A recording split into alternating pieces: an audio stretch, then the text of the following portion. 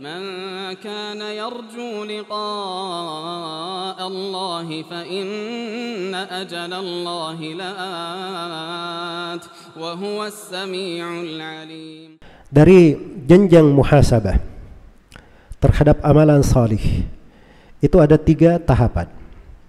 Tahapan yang pertama adalah menghisap diri sebelum beramal dengan amalan itu. Yang kedua menghisap diri setelah mengamalkannya. Dan yang ketiga menghisap diri setelah mengamalkannya.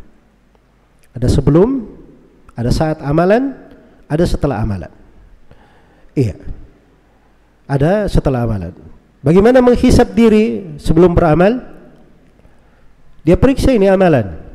Karena itu kata sebagian salaf, jangan seorang itu melangkah di dalam sebuah amalan apa pun sampai dia periksa dirinya. Itu dia lakukan karena Allah atau bukan? Dia ikhlas atau tidak di situ? Dia periksa ini amalan sesuai dengan petunjuk Nabi atau tidak? Iya. Sebelum dia melakukannya. Kemudian yang kedua saat dia beramal.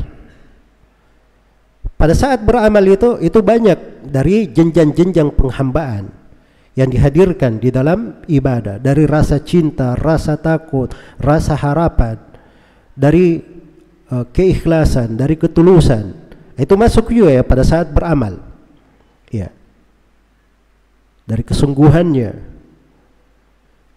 Maka ini dia periksa pada saat dia beramal.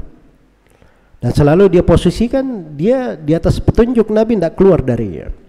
Kemudian yang terakhir setelah dia beramal. Setelah dia beramal dia periksa dari amalan itu. Kekurangannya di mana? Apa yang dia lakukan? Itu pasti ada kekurangannya. Bagaimana dia ingin lebih baik lagi? Iya.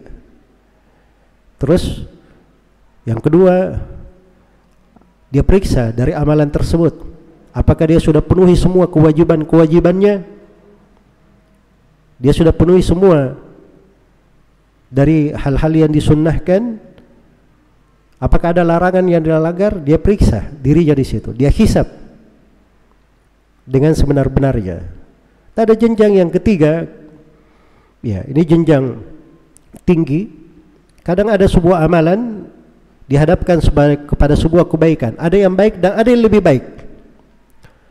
Maka dia selalu memikirkan bagaimana berada di posisi yang paling baik dan paling baik.